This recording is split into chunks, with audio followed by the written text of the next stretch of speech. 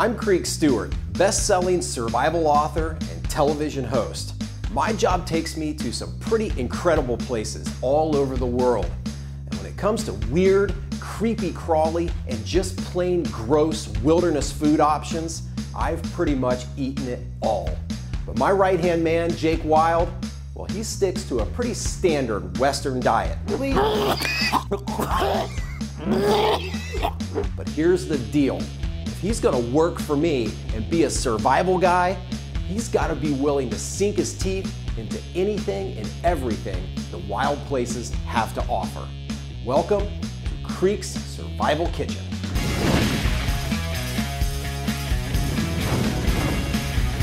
Well, are you ready for another one, man? So you may or may not know that one service that Jake and I do here at Willow Haven Outdoor here at Creek Stewart Incorporated is we do Wild Edible Plant of the Month Club, where every month we ship out a tutorial, an ID sheet for a different wild edible plant um, that goes into a binder. You can see kind of a sample of these sheets right here. So it talks about all the different unique identifying features of different wild edible plants. And so I thought I would teach Jake Wyld one of the most important wild edible plant lessons today. Okay? And that is? And that is, so it's December as we film this, and if you go for wild edible plants in the winter, let's say like dandelion, for example, you'll be able to find dandelion leaves in a lot of places in the dead of winter. But one thing that you really won't appreciate until you try them is that they are incredibly bitter.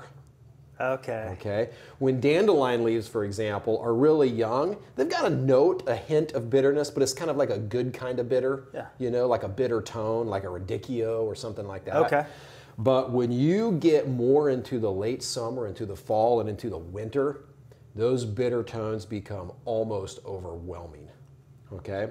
So there's only one way to really teach that lesson to you. And so we're going to create today what I call the most bitter survival soup in the world. Okay? Good thing it's at least cold outside, right? yeah. And so we're going to take our good blender here and we're going to head out into the woods to the pond, near the pond, and we're going to gather up a few ingredients for making this soup. You up for it? I'm up for it. Let's go. Let's go. Okay, so first step, man, is finding dandelion greens. Okay. Okay. They're still out, even in the dead of winter, like right here or some. Dandelions come from a rosette. See how these are growing out mm-hmm. in kind of a circle Yeah. here? Now that's called a rosette. They're all gonna grow out from kind of a central taproot. Okay. Okay. And then dandelion leaves are lobed. This is a really great example. And the lobes are toothed. They're toothed and they point back toward the center of the plant. Okay. And the end of a dandelion leaf kind of looks like an arrowhead. Oh yeah, I see that. Okay, see how that kind of looks like an arrowhead Yeah. right there? It's very arrowhead shaped. And they do not have hair. Okay. Okay, so they're hairless because there are some lookalikes to dandelion leaves, but they have little dense hairs all over. them. Oh yeah. Okay. Okay, so let's just go around and just collect some and throw them in the blender here.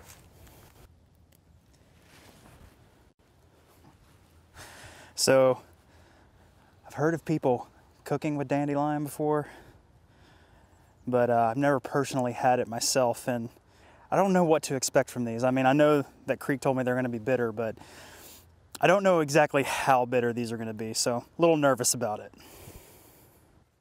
Nice. All right, man, we've got a pretty decent batch here. Now it's time to get the base for our soup, which is gonna come right out of that pond. Oh, pond broth!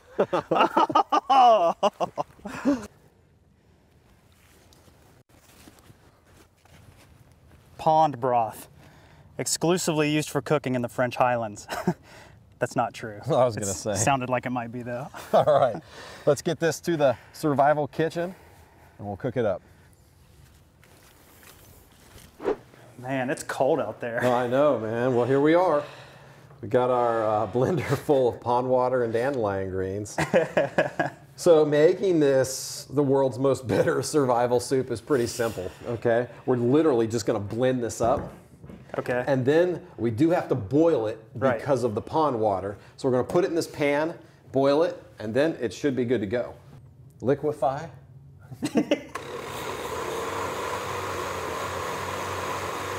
there we go.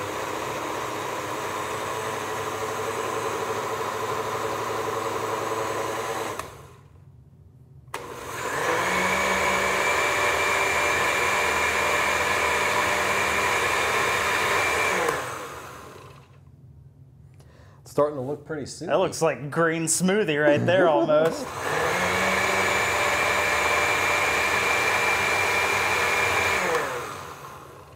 That's good.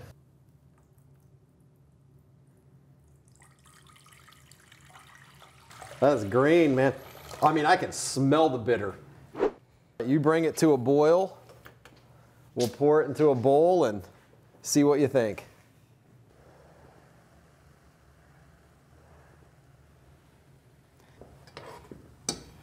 It's boiling nice and good now, man. Roll and boil, that's what you want.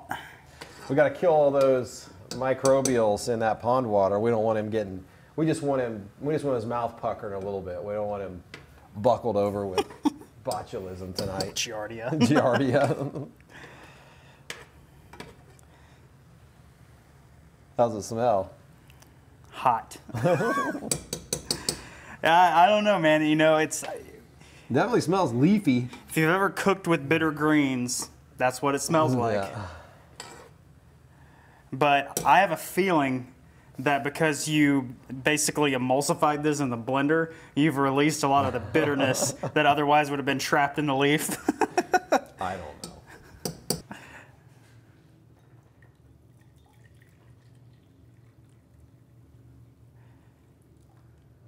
There we go. All right, man. You think it's cooled off enough? yeah, I think I can handle that. All right. Well, down the hatch. Just get pukey ready just in case. so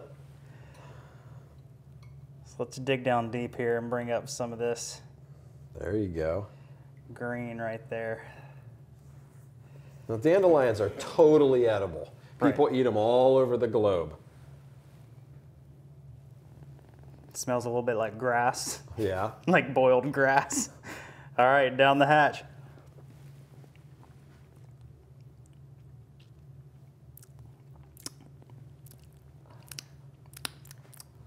it's it's bitter. Um, it's like bitter spinach almost, really. Really? Yeah. Take some more, man. Get some good stuff off of there. Oh yeah. Now here, here, here. Get some, get some of that chunky. Yeah, there we go. There. Now that's what I'm talking about. I guess some of that chunky. All right.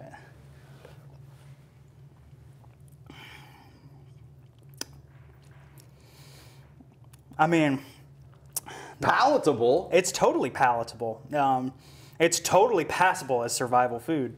Um, I mean, it's not something that I'd be like just itching to go outside and pick for myself and throw into a soup. But I mean, this is just water and dandelion leaves, and it's Yeah. totally palatable. So if you had uh, salt, pepper, things like that to kind of add to it, it'd be a game changer.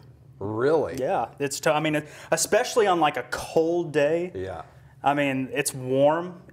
It's it's great. I mean, you know. for for what you would need in a survival situation, this totally suffices.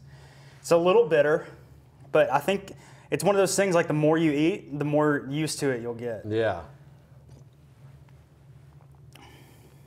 Yeah, it just tastes like a bitter spinach, man. Yeah. Tastes like a bitter spinach. Well, it's totally a wild edible. And once again, Jake Wyld has stepped up to the plate and eaten a little less tasty survival food. Good job today, man. Great job.